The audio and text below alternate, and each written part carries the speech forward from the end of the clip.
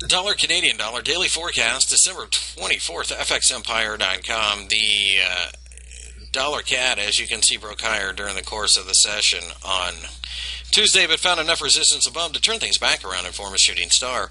The shooting star, of course, suggests that the market's going to struggle to go higher, and we think the pullbacks could be coming. However, the 115 level below should be supportive, so a supportive candle below should be region enough uh, to start going long of this market, as uh, quite frankly, uh, the uptrend should continue.